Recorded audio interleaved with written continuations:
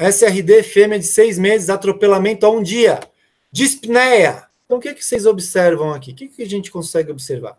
Primeiro que a silhueta cardíaca está deslocada. Enxergo lobos pulmonares retraídos, né? E quando eles se retraem, eles perdem volume, eles ficam mais opacificados, caracterizando um padrão alveolar ou uma consolidação pulmonar. Mas eu consigo ver o aumento da conspicuidade das estruturas mediastinais. Consigo ver o sinal fachado de traqueia, né? E isolar algumas estruturas, até a veia ázigos. Não consigo ver os vasos pulmonares, então padrão hipovascular pode estar presente, a veia cava está adequado o tamanho dela. Existem algumas estruturas abdominais meio estranhas, talvez alguns corpos estranhos metálicos nesse paciente. Um coração pequenininho, talvez, né? Uma hipertransparência pulmonar, porque a gente viu, né? os lobos pulmonares estão retraídos. Então, isso tudo aqui é gás, é ar no espaço pleural. Eu não enxergo fraturas de costelas, né? O que, que a gente vê? Olha só a descrição. A gente tem uma elevação da silhueta cardíaca em relação ao externo, grave irritação de lobos pulmonares por radiopacidade de ar, especialmente visibilizada no hemitórax esquerdo e estudo vento dorsal.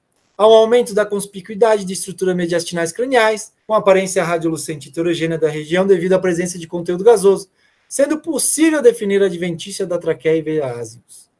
Opacificação alveolar evidente lobos pulmonar cranial esquerdo, bronquitecial graves lobos pulmonares direito e caudal esquerdo, Sinal lobar entre lobos cranial e caudal esquerdo, fissuras interlobares radiopacas entre lobos pulmonares, aparente redução da silhueta cardíaca, estruturas de radiopacidade mineral e metal em estômago, associadas a conteúdo gasoso intraluminal gástrico, descontinuidade óssea, texto distal da diáfise de úmero. Então, olhem tudo. Always look everything. Então, aqui tinha uma areazinha descontínua, tá? Então, nesse caso, seria interessante sugerir uma radiografia do húmero, como foi sugerido também. Então, arcos costais, estruturas musculoesqueléticas, ou o restante das estruturas musculoesqueléticas normais. O que, que a gente tem aqui? Pneumotôrax, pneumomediastino, sem evidência de efizema subcutâneo. Principal diferencial, ruptura alveolar, a ruptura de traqueia, esôfago, mediastinite são outros diferenciais. Pelo histórico, a ruptura alveolar faz mais sentido.